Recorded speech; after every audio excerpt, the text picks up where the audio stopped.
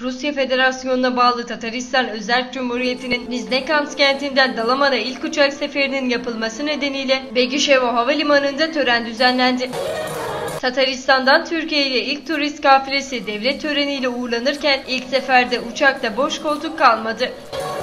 Tataristan'ın yöresel halk dansları ve müziklerinin sunulduğu törene Tatar basını yoğun ilgi gösterdi.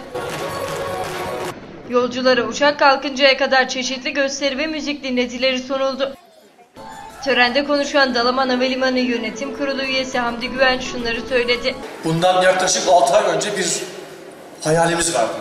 Nijnikamsk'tan Dalaman'a Marmaris'e bir e, uçak yolculuğu başlatmak.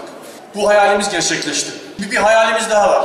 Bu bir uçağı en kısa zamanda 5, 6, 10 uçağa kadar çıkartmak.